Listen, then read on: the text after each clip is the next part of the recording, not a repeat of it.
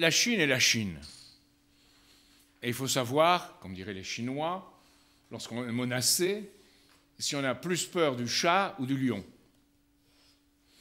la politique d'Obama est une politique de pivot oriental, comme il l'a dit lui-même. La politique américaine, hein, ce n'est pas seulement Obama, mais Obama est très excité par cette politique-là. C'est probablement une des rares choses qui l'excite.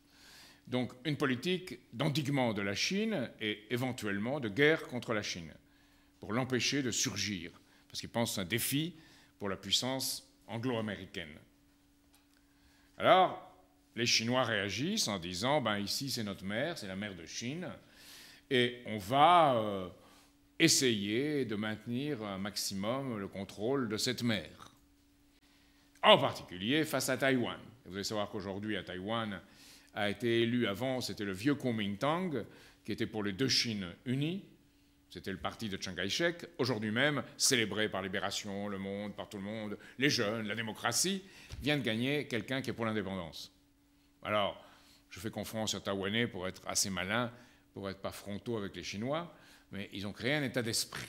Quant aux Philippins, ils ont adopté des bases américaines depuis longtemps et viennent de le confirmer. Alors, quand on installe des gens que la Chine perçoit comme ennemis, on ne peut pas s'attendre à ce que militairement, la Chine fasse des câlins. Mais, économiquement, la Chine a créé l'AIB, comme on dit en anglais, la Banque internationale pour les investissements en Asie, et les Philippines y ont adhéré. Donc, euh, c'est en quelque sorte une réponse.